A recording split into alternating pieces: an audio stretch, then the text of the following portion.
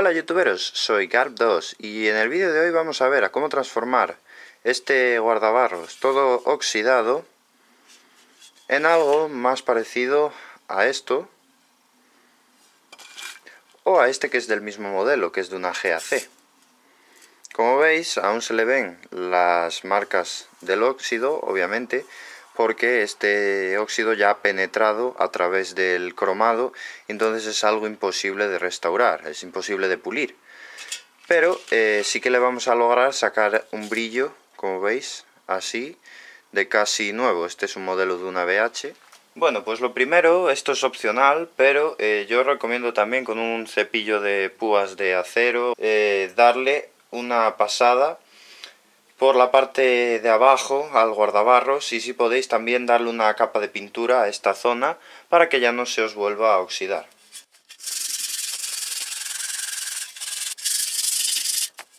Y una vez hayamos terminado con la parte inferior, que ya veamos que prácticamente el óxido así que sobresalía eh, ya lo hemos quitado y ya podemos pintar sobre ella, vamos a pasar a la limpieza de la parte superior. Para ello vamos a coger así un buen cacho de aluminio, lo vamos a hacer una bola sin apretarlo demasiado y lo vamos a ir pasando por las zonas donde veamos pues así cualquier punto con óxido.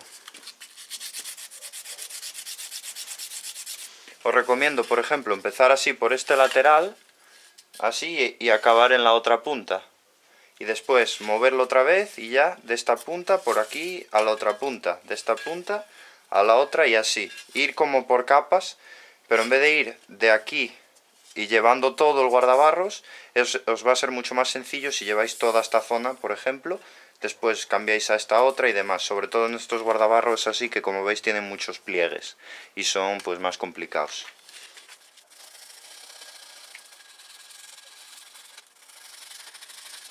Y bueno, como veis la diferencia ya se puede ir apreciando. Como veis esto no brilla casi nada y este ya brilla prácticamente como si fuera nuevo. Lo malo pues eso que obviamente eh, donde el cromo ya se ha ido pues no podremos hacer nada.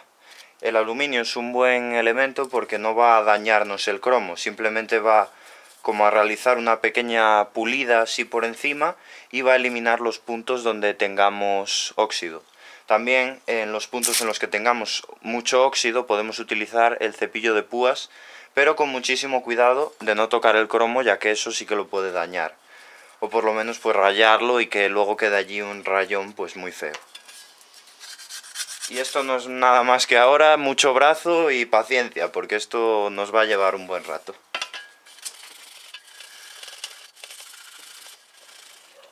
Bueno, y una vez los hayáis limpiado bien bien, pues os debería de quedar algo así. Ahora simplemente podríamos darle ya directamente con el Sidol. Pero bueno, yo tengo un esmeril con un disco de tela, con una pasta especial de pulimento, y entonces pues con este disco vamos a conseguir muchísima mayor calidad en el, en el cromado. Pero bueno, deciros que podéis aplicarle directamente el producto y ya está. Yo en mi caso le voy a dar con el disco de, pulimento, porque así con el disco va a quedar pues mucho, mucho mejor pulido.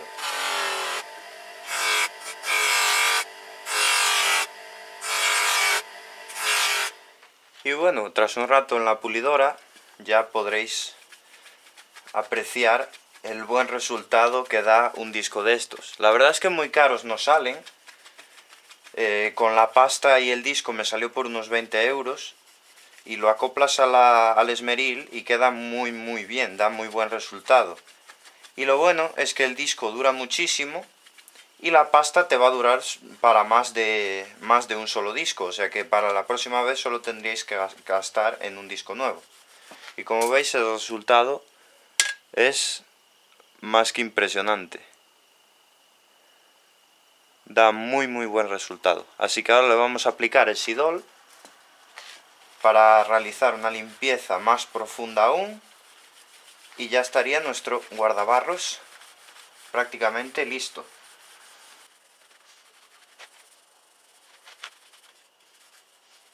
Y bueno, para aplicar el Sidol simplemente vamos a, primero, antes de abrirlo, agitarlo un poco lo abrimos.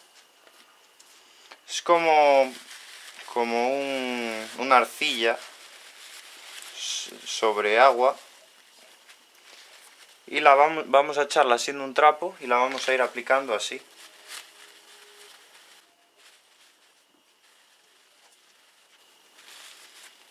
También podríais utilizar una buena alternativa al sidol. Podríais utilizar bicarbonato o incluso pasta de dientes que también realiza muy buen trabajo acerca de el pulimento de metales. Pero bueno, a mí como este lo tenía mi madre por casa, pues se lo robé y lo utilizo yo ahora para esto. Porque como copas de plata que es para lo que se utiliza prácticamente este producto, no tenemos ninguna, pues para esto nos vale.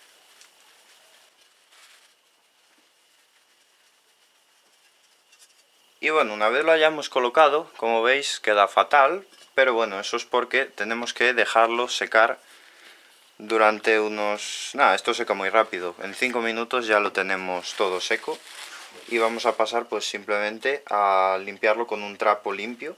Lo vamos a pasar así, vamos a limpiar todo el polvo y ya estaría nuestro guardabarros. Y bueno, para rematar simplemente con un trapo más o menos limpio quitamos todo el sidol.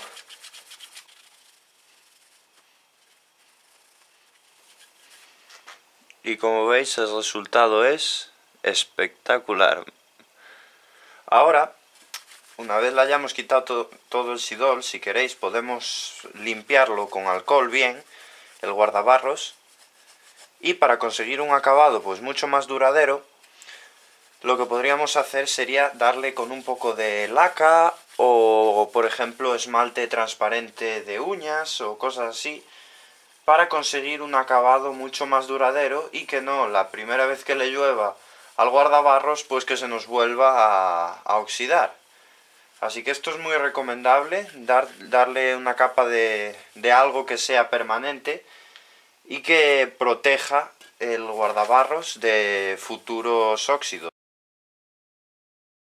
Y nada, esto es básicamente todo. Ahora simplemente le voy a dar una capa de pintura también por debajo al guardabarros, en plan para protección.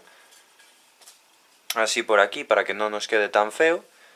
Y ya está. Como veis el resultado es muy muy muy bueno. A mí la verdad es que me encanta cómo, cómo queda con este método. Y bueno, si vosotros tenéis pues otro método o, o algo más barato o así, y los queréis, lo queréis compartir, pues bueno, dejarlo siempre en los comentarios, que bueno, pues así nuevos métodos y demás. Comentarios constructivos siempre son muy bienvenidos. Como veis, fijaos el acabado tan bueno que da en este foco que antes estaba así. Y bueno, porque aquí le he pegado ya sin querer, le pasé así unas pequeñas pulidas, pero como veis, ni punto de comparación.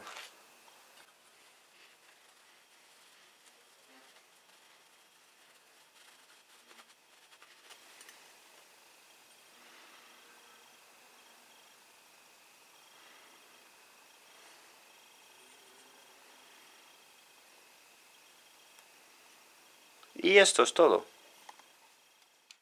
Bueno chicos, pues espero que os haya gustado el vídeo, ya sabéis dejar ahí abajo un me gusta favoritos y no olvidéis seguirme en Twitter, en Facebook, en Instagram y apoyarme en Patreon y Paypal, además de suscribiros como no. Venga chicos, hasta luego.